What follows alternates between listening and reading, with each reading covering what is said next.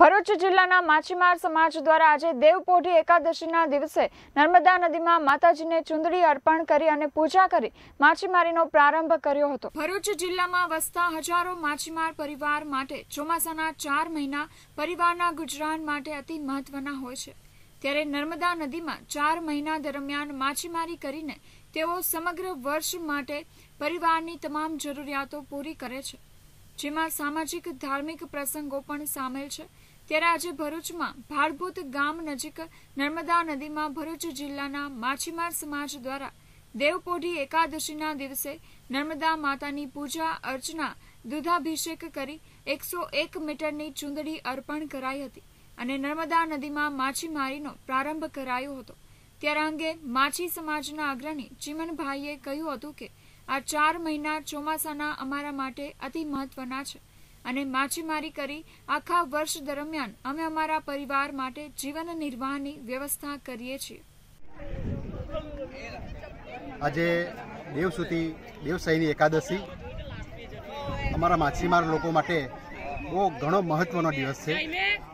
આ દિવસે એના એક દિવસ પહેલાં અમારા લોકો ચોવીસ કલાકનું ભજન કરી, ભજન કીર્તન કરી, માં સિકોતર માતાને, માં નર્મદા માતાને પૂંજન અર્ચન કરી અને માછીમારીના ધંધાની આજના રોજ, આજના દિવસે સુખદ શરૂઆત કરી રહ્યો છે.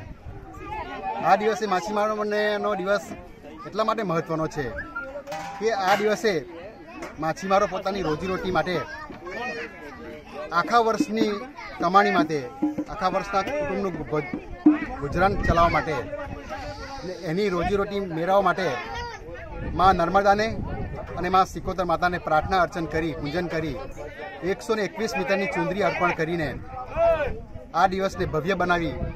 માછીમારો પોતાની મચ્છીમારી માટેનો ધંધો શરૂ કરવા જઈ રહ્યો છે.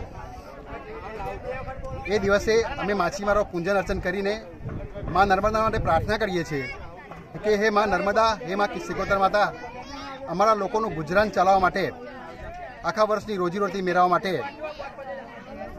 અને અમને સુખરૂપ હોડીમાં ફિશિંગ કરી, મચ્છીમારી કરીને અમારા લોકોનું ગુજરાન સારી રીતે ચાલે એવી પ્રાર્થના કરીને મા નર્મદાને વિનવણી કરવા માટે અને અમે આ કિનારેથી પેલા કિનારા સુધી દૂધનો અભિષેક કરીએ છીએ તથા એકસો ને એકવીસ મીટરની ચુંદરી પણ અર્પણ કરીએ છીએ. ફારૂક દિવાન, કેટીવી ન્યૂઝ ભરૂચ.